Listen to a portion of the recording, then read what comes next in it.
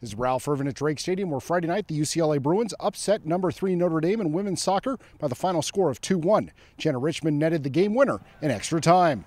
Well, the ball came across, I think, and I was running in, and then Ari on the right back shot the ball, and then I was there and like volleyed it in, top corner.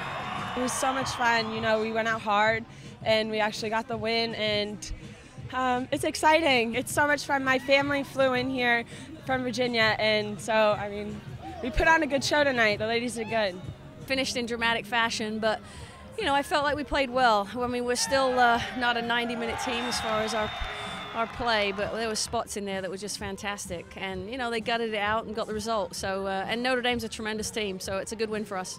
We had a lot of good chances early in the game, and you know if we'd have put those away, it would have been a so a different story. So giving up the late goal was was tough, but emotionally we tried to get them back on track in the locker room, and then you know just great resolve to gut it out and, and obviously finish in overtime. You know Santa Barbara's a, a local rival, good great team, and um, you know we have to get back up for it. So it's uh, you know I think we're growing mentally. We're still a young team, but uh, big step forward tonight.